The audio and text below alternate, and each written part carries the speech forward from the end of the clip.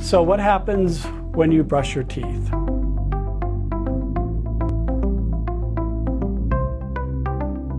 The water comes into your house through the city's water distribution system. It delivers the water through a meter to your house.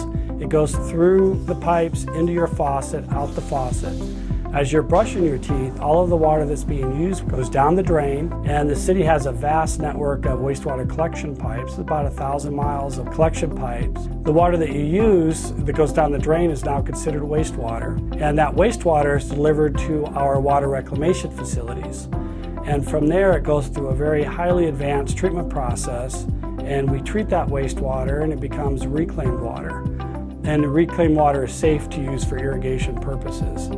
Once the reclaimed water is treated, it's put into another set of separate pipes, and generally they're, they're purple pipes.